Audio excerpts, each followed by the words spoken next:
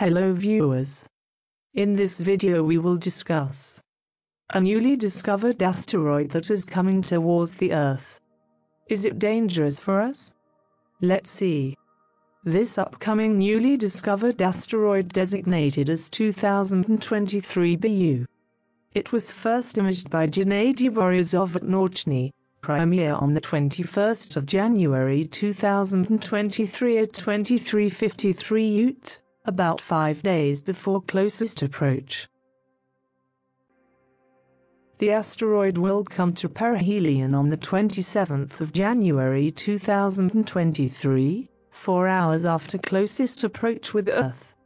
When it passes by Earth at its closest, the space rock will be within less than 3% of the average Earth-Moon distance at an altitude of just 2,178 miles above Earth's surface.